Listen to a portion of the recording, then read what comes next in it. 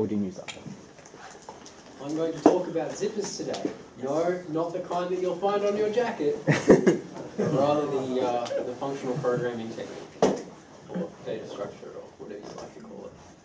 Family of data structures might be the most accurate. What are the objectives of this talk? So hopefully we will learn about something useful.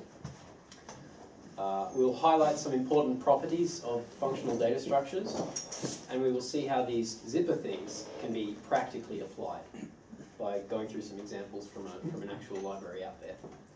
Um, this, in, this is intended as a beginner to intermediate level talk, so if you consider yourself beginner to intermediate level, please ask a question. Chances are somebody else has the same question in their mind and if you ask the question, then everybody gets to hear the answer. All right, so I encourage you to ask a question. All the examples will be in Scala. That's what I use at work. Um, it's just, if you know Haskell and you imagine it like with lots of curly braces everywhere, and then the type inference doesn't work, that's Scala. um, so with, with this functional programming thing that you may have heard about, we like to use immutable data. All right, and that gives us certain properties. So immutable data is generally easier to reason about, so we don't have crazy global variables that are changing and then altering the performance of things in other corners of the system. Right? We only have immutable data, and so we avoid those kind of problems. Um, it's easier to share immutable data across multiple threads if you're writing some kind of concurrent program, because nobody can go in and make a modification to anyone else's data when they're not allowed to. Right? Uh, and then since the, you can't mutate the data, you don't need to use locks, so also you avoid deadlocking, which is cool. Um, other things we get access to old versions of our data structures, right? And that's because to modify an immutable data structure, we create a copy of that data structure which contains the changes that we want, okay? So then we get access to old versions. So there's a, there are a couple of file systems out there which use a, a technique like this. For instance, ZFS uses a, uh, a technique of, it's similar to this immutable style here where it uh, recreates via, it, it, modifies via producing copies and then you can keep old copies around as snapshots. Um, that's a sort of practical use of immutability. Um, so let's move on with some examples here. So here's an example of some immutable data. We've got a Scala case class, which is, uh, you could think of this as a, as an, uh, this is an algebraic data type with one data constructor called Seuss, so this is similar to a Haskell data definition. Um, and to construct a Seuss, you need to pass it a color and an animal. So let's go ahead and construct a Seuss. All right, we've constructed a red fish. We'll call it one fish. And what if we want to uh, modify this piece of immutable data? And make it a bluefish instead, right? Well, we will produce a copy, and we'll do that with Scala's uh, dot copy function here. And so we're saying uh, two fish is what you get when you take one fish and you copy it, replacing the color with blue. Okay, so we've updated that, uh, that piece of data by producing a copy with the changes we wanted. All right, let's move on to a more serious example now, trees. So this is a this is a, an algebraic data type with two constructors. So the, the name of the algebraic data type is tree, and its two constructors are tip, which, is, which takes no parameters, so it's like a, an empty leaf on the tree, or branch, which has a left subtree, right? A value at this node of type A, and the right subtree. So this A is the type that the tree uh, is parameterized over, so that's like a Java generic. Okay, so this is a tree which stores its data in the nodes rather than in the leaves. And we can have a convenience function here called leaf, uh, which takes an A and constructs a branch with two empty tips and that A in it. Alright, so we can now play around with this data type a little bit. So we can make a tree here called deep, right? And this is the this is the code that will create that tree, and, and here's a pretty picture of it. Uh, this this tree happens to be in order and it happens to be balanced, but that's not necessarily a property that holds for this, this type of tree. That's just so that the example is pretty. Okay, so see this, uh, this, this node down here with a 5 in it? We want to replace that node, right? Because it said something mean or something like that. we want to replace that node. So how are we going to replace that node in this immutable data structure, right? So first we're going to have to walk our way down to that node, and we're going to do that with a pattern match here. So here we're constructing a different tree, and we're constructing it by taking our original tree and pattern matching it apart. Okay, it's a branch with a left subtree, which is this half, a right subtree, which is this half, and an x, which is the, the value at the root node, which is 4 in this case. Okay? And then we're taking our right subtree, we're pattern matching that apart into a branch with the left subtree, which is what we're interested in, and then a y and a, and a right subtree. Okay? So now we're going to construct the, the node that we want to replace this node 5 with. So we'll do that by calling the leaf function on the value 20 to produce a, a new node here. But then in order to, uh, we, we need to sort of rebuild our way back up the spine of the tree, right? We'll do that like that. Right, so you see that to replace this 20 deeply nested inside the tree, right, we created a copy of it and then we had to rebuild back up the tree so that the root node of the tree would point to the correct node. Okay, does that make sense to everyone? All right? Okay, so what if we want to replace another node in this tree? Maybe we want to replace that 7. Right. What are we going to do? We'll do pretty much the same thing again. We'll pattern match on the root of the tree, and we'll take our right subtree, and we'll pattern match on that. Okay, and then we'll get the right subtree of that, which is the node with the 7. And then we will construct a new node with a value in it that's better. 42 is better than 7. And then we will rebuild up the spine of the tree. Now we have our new tree, right? We've replaced both of those elements that we care about. And we've done it in a really, really horrible way. Okay, so this is a really horrible thing that we've just done because we've, first of all, we've done these pattern matches and, and they're really ugly looking and also they're not, they're not total, right? So in neither of these pattern matches are we ma matching the case that the tree is, uh, is a tip, right? What if our data is not shaped the way we expect it to be? Well, because this is a partial pattern match, it'll do something crazy like throw an exception at runtime or some other unspeakably awful thing. So that's one reason why this is particularly terrible. But also, right, we walked all the way from the root of the tree down to the node that we were interested in, replaced it, rebuilt our way all the way back up, and then went all the way back down again to change the other node, and then reconstructed our way back up again. Right, so we had to do two full like walks down and up the spine of this tree. Okay, so you can imagine that if this were a really deep tree that were maybe five or six levels deep, and we wanted to replace multiple things that were near the bottom of the tree, this would get really expensive really fast. We've already got three of them. Exactly. Right. So, so we're going to come up with something a lot better than this, right? We're going to solve this problem of uh, walking around and manipulating, and walking around inside and manipulating our immutable data, right, in such a way that we're not paying this horrible cost every single time. Okay, and so this technique is called uh, a zipper, and it's based on an observation that replacing the root of the tree you can do in constant time. You can just keep replacing the root of the tree, right? Because there's no more there's no spine above you that you need to rebuild back up. Right? You can just swap out the root node easily. You don't have to, because if we replace like this node, then we have to rebuild this node, then we have to rebuild this node. But you can always replace the root.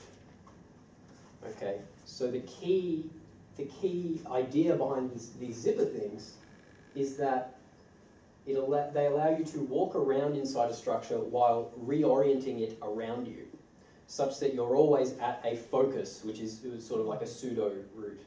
You're always at a focus that you can cheaply replace. Right, that's the key idea. Let's see what, what that would look like to use, just with diagrams again before we jump back into code, or jump into code. So here's the same tree. We're going to perform the same modifications we did, but we're going to do it like zipper style. So I'm going to use a blue circle to represent the current focus Okay, and we're going to walk through this tree now. So we're interested in replacing this 5 and this 7. So we want to walk down into the right subtree. So that's what we'll do.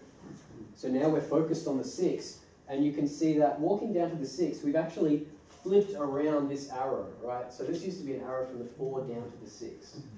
But now that the 6 is the focus, right, we, uh, we now know about the 4 that's above us rather than it knowing about us. So now we can, uh, we can replace this, right, because, because we're, we're at something that, is, that behaves like the root for what we're concerned about.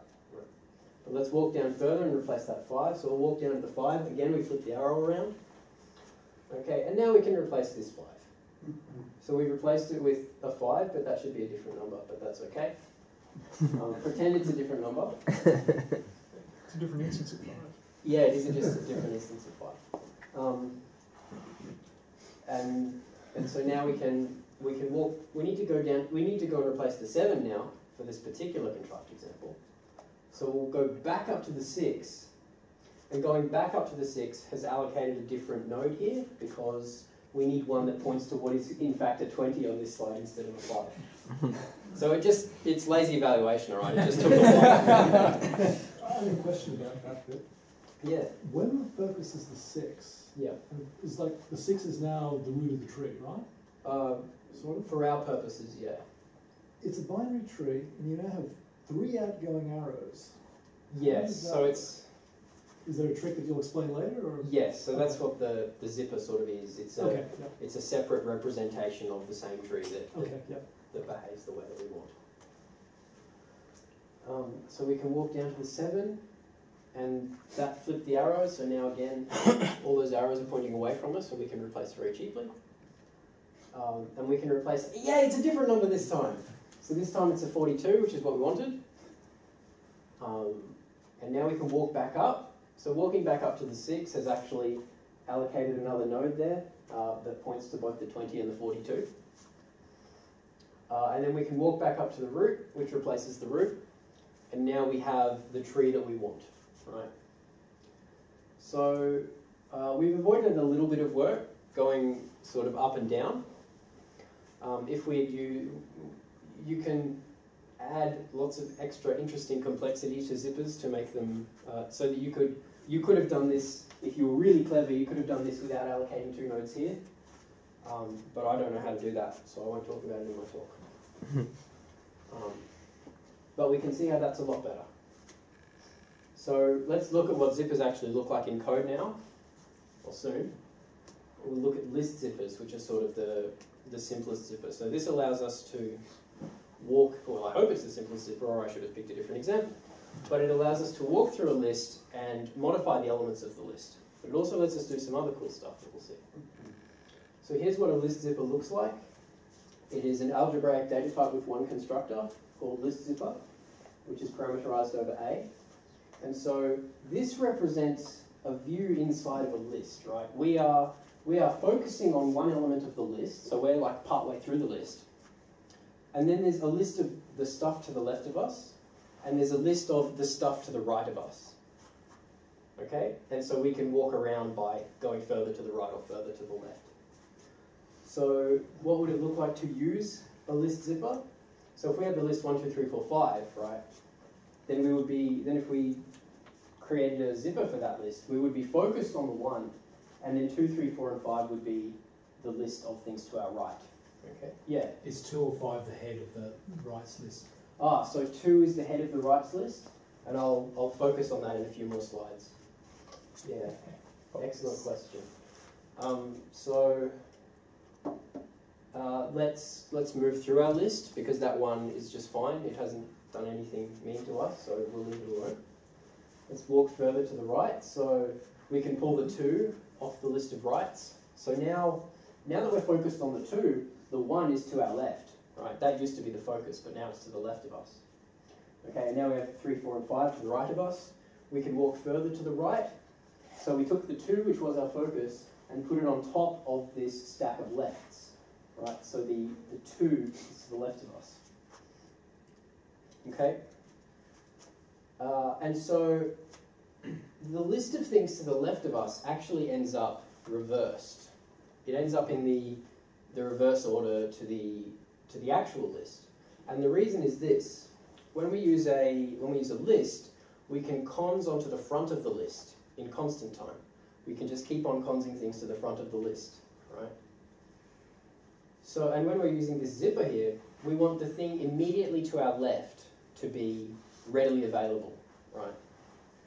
So we want the thing immediately to our left to be the head of the list of the things to the left of us?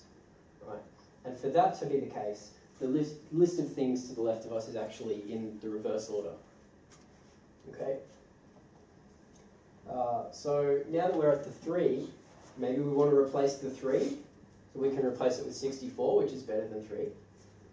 Uh, but the other cool thing about list zippers is that, or zippers in general, is that not only can we swap out elements for other elements, but we can modify the structure while we're traversing it.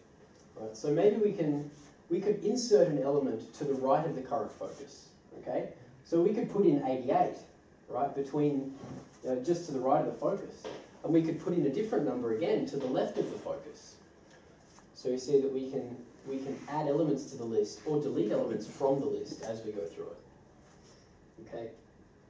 So what what would this look like now if we turned it back into a list? So to read this diagram, we read up from the bottom of the left because the list is reversed. So this list is 1, 2, 9, 64, and then to the right of us, 88, 4, 5. Okay, so that's what it looks like when we use a list zipper. So we'll go back to some code now. Um, we'll define some of those functions that we just used. Okay, so here's our list zipper type. We're going to define the function put, which replaces the focus with a new value. Okay, so it just constructs a list zipper where the things to our left are the things that were already to our left, the things to our right are the things that are already already to our right, and we simply replace the focus with this parameter that we're given. Okay, if we want to go left, right, left, uh, we we get back a, an option of list zipper. So this is like Haskell's maybe data type that Fraser talked about. Okay, it's either it's either none or it's some A, right? And the reason that we get back an option of list zipper when we attempt to move is because there might not be anything to our left, right? If we try to move left and there's nothing there, we sort of fall off the end. Okay, the data didn't look how we expected it to look. Okay, so how do we define this function? Well, we pattern match on the list of things to the left of us. And if it's an empty list, we get back none, right? We've fallen off the end. But if it's an x const onto some other list of x's, then we produce a new list zipper and wrap it up in the Some constructor, right? Where the, the list of things to the left of us is the x's, which is the tail of what used to be the things to the left of us. The new focus is the x, which is the head of things that used to be to the left of us. And then we cons what used to be our focus onto the list of things to the right of us. So it's to the right of us now. Okay, so that's how we move left. Moving right looks very similar. Uh, we pattern match on the things to the right of us. If there isn't anything to the right of us, we fall off the edge of the world. Uh, but if there are things to the right of us, then the new focus is the, the head of that list of things. The new things to the right of us are the tail of that list of things. And we cons the focus onto the lefts. So you see, in both of these cases, we're consing the focus, right? And that's why the list to the left of us ends up in reverse order. Is because we're always consing onto it when we go to the right. And we can turn a list zipper back into a list, right, by reversing the things to the left of us so that they're in the order we want, and then appending those onto the, the list, singleton list containing only the focus, and then appending all that onto the list of things to the right of us.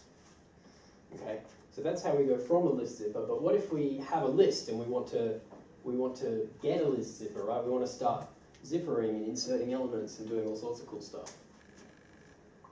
So we're defining a function here called zipper, which takes a list and produces an option of list zipper. It can't give us a list zipper that isn't an optional one, and that's because the uh, in a list zipper we're always focusing on one element, right? So if we try to create a list zipper from an empty list, we can't do that because there's no element for our initial focus.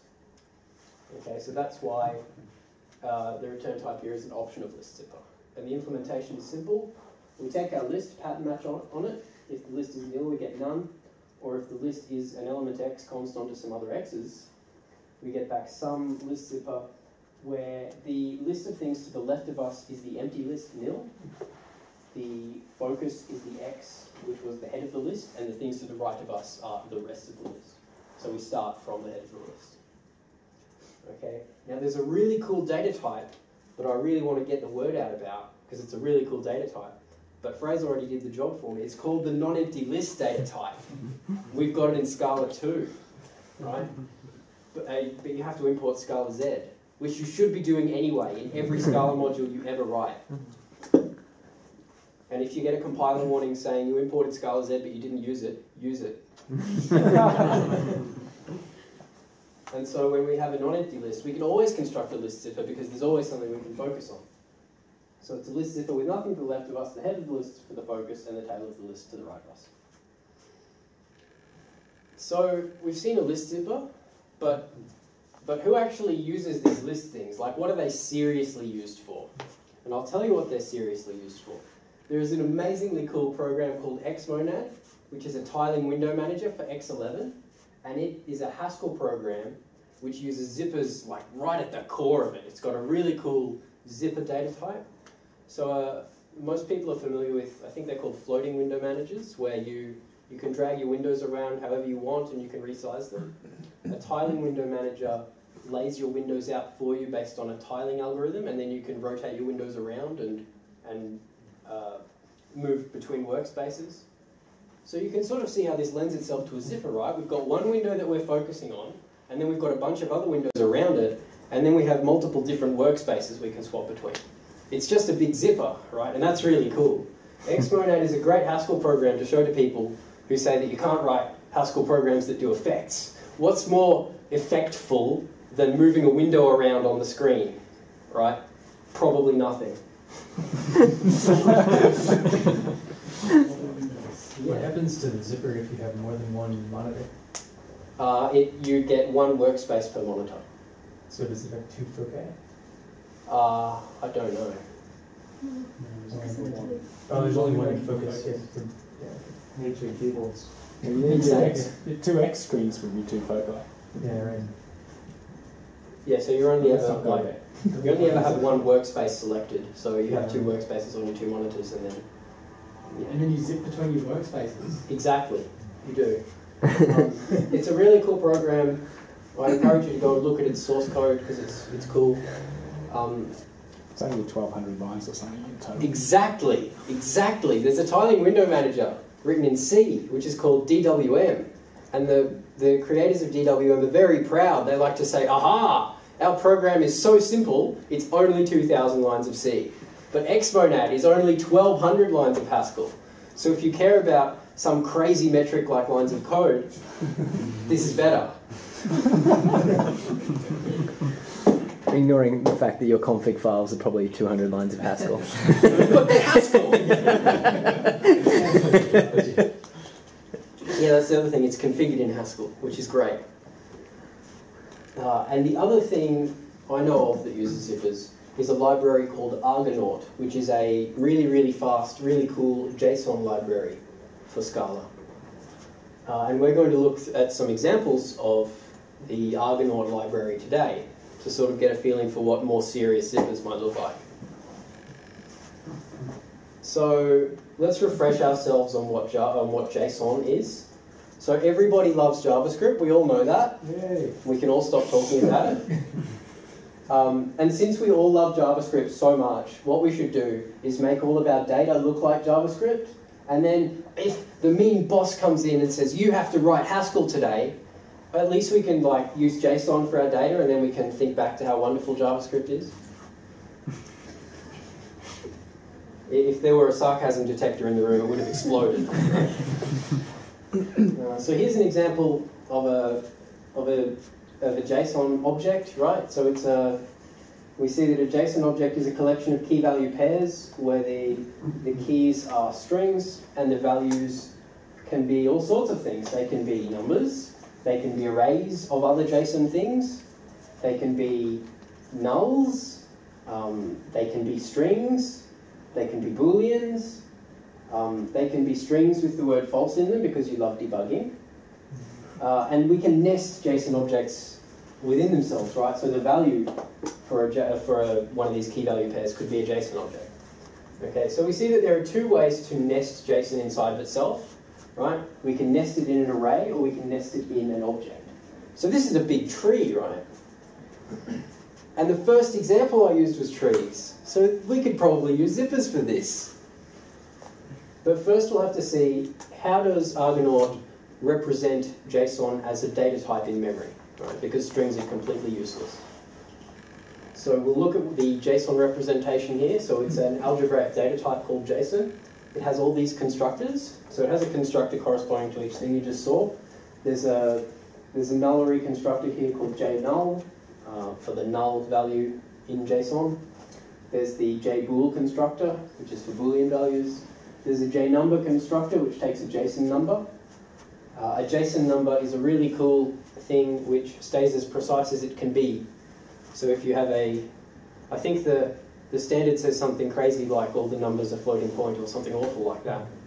But this, this number type is a bit cleverer. And uh, if, you, if your value is an int, it will remember, oh, actually that's an int, which is really handy. Um, we won't get into that any further. It could be a JSON string, right? It could be an array, a, a JSON array in this case, or it could be a JSON object. Okay, so this is the definition for a JSON array. It's just a list of JSON values. I won't show you the definition of JSON object because it's uh, big and, and complicated, but it's basically a, a map from string to JSON. Okay, it has all sorts of extra extra little fancy bits in there, like it knows about ordering and that kind of thing. But you could, for the purposes of this talk, you can think of it as a map from string to JSON. Okay, what would a zipper for that data type look like? Well, we're going to have three constructors. The first constructor is for the root of the JSON uh, object, right? So that's this CJSON uh, constructor here. Oh, Argonaut calls it zippers cursors, but they, they mean the same thing. Uh, so that's for when we're at the root. And if we're not at the root of the JSON structure, where are we? Well, we're either partway through an array or we're partway through an object, right? Because those are the two ways that we can nest JSON inside of itself. So if we're partway through an array, where this data constructor, uh, so this is, this has some extra stuff, but it looks a lot like our list zipper, right? There's a list, if we're in the middle of an array, there's a JSON that we're focusing on, and there's a list of stuff to the left of us in the array, and a list of stuff to the right of us in the array. Uh, there's also this P and this U here, which I'll talk about in a moment. And if we're not in the middle of an array, and we're not at the root, we must be in the middle of an object. Okay? So that is the C object constructor for our zipper type. Okay, and so we have a key value pair that we're currently focusing on. Uh, we have an O, which is the rest of the JSON object, and we have this, this P and this U here again. So what are they for? Well, this Boolean U actually keeps track of whether you've updated the data structure.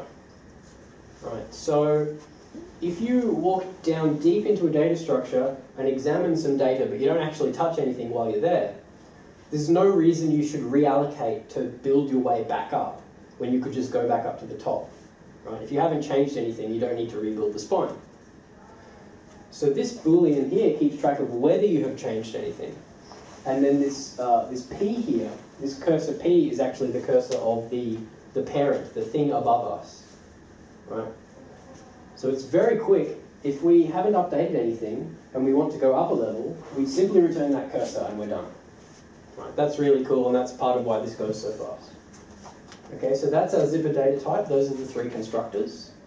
All right, let's see what it looks like to use that to get a better feel for it. Oh, and so the, the blue things here are the foci, the, the JSONs inside of each of them. Oh, and we can't go through the example until we define functions. Sorry. Um, let's define functions. So if we, eh, we can always set the JSON at our current at our current focus with this set function. we can go down into a JSON field, right? So this is saying if we're at an object, we can we can give it a key and say give me the value for this key, all right? And so that's what this down field function does. Uh, if we're in an array, we can go left or we can go right. So these are just some of the basic traversal functions for our JSON zipper, right? And there are many more. There's lots of cool stuff we can do with a JSON zipper, and I don't have time to show you like three quarters of it tonight. But these are the things we'll use. So now let's go back to our example JSON here. So we've got our, you know, we've got our key value pairs here, we've got our array, we've got some bools, that's all cool. But I really don't like this array. And the reason I don't like it is because it has the string 4 in it when it should probably, hopefully have the number 4 instead. And it has a null here, and I don't like nulls, so I want to replace that with 5. Right, these are my examples, I can do what I want. Um, so we're going to use our zipper right, to walk through this, this JSON data structure here and replace those. We're going to replace that string 4 with the number 4, and we're going to replace that null with 5. So uh, I'm going to color blue the thing which we are focusing on with our zipper.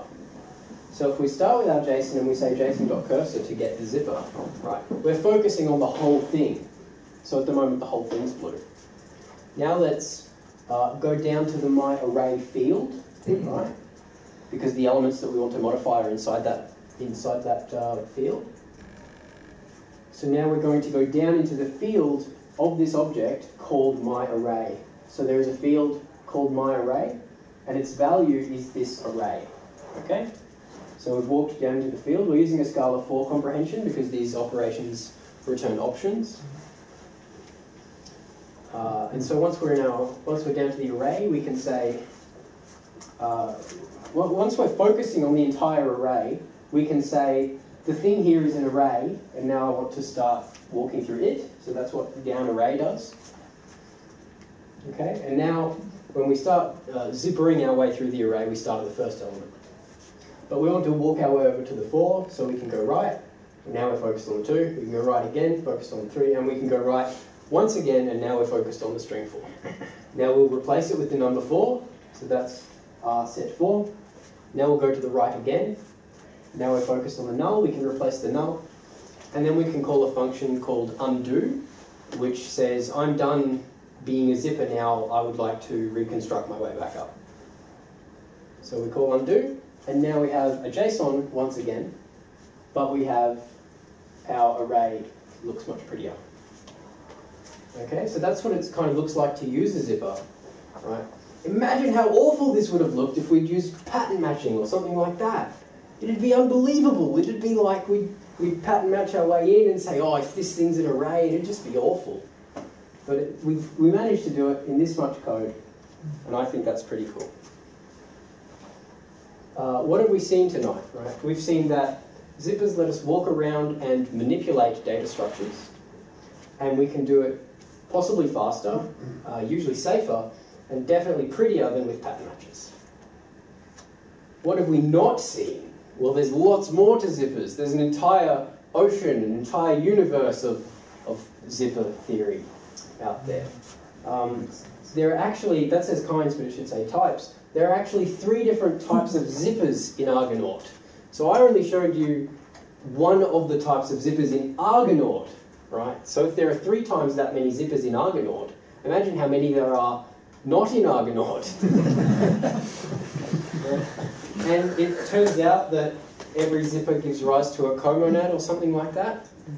And Dave can tell you all about that, but I can't. And so we haven't seen that tonight. And that's the end of the talk.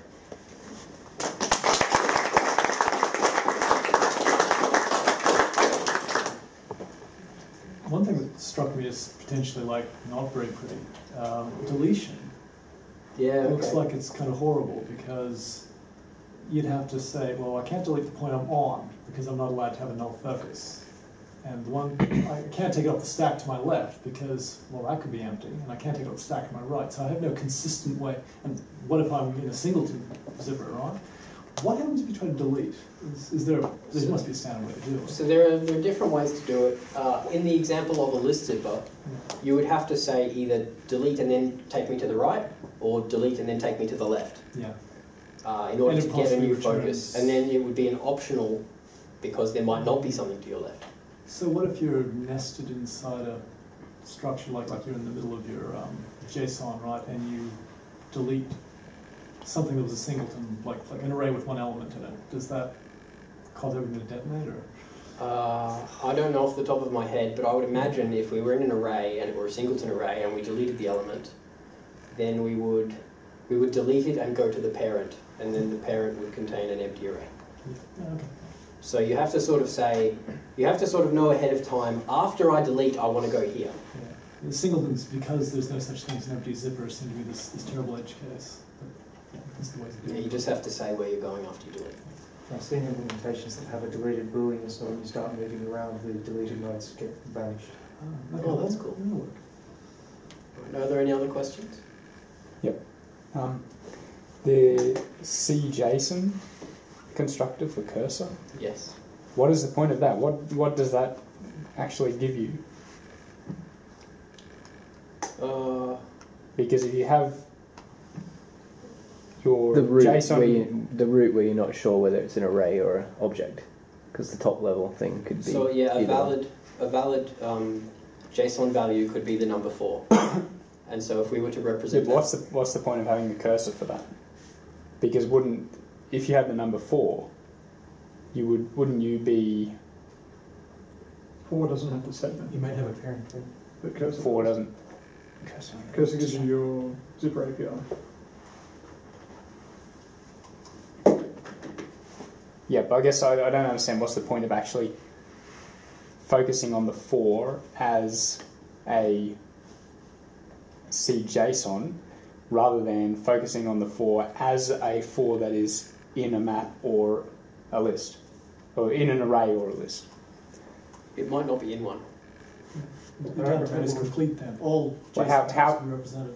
How would it not be complete? Because J, a JSON object. Well, like in what context? In what context would a four exist? When it's Um, not a JSON object, Hey, when it's a JSON value. Yeah. If you just have the string four, you can read it as JSON and it's the JSON value four.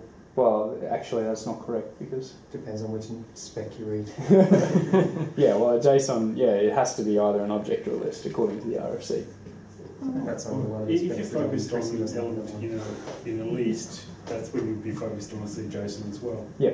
I guess I guess I just don't understand what's the point of actually going down onto something that isn't an array or a list, because you can't go any you can't go any further, can't and you should be able to replace the four with it at the focus of a of an object or a uh, or a list.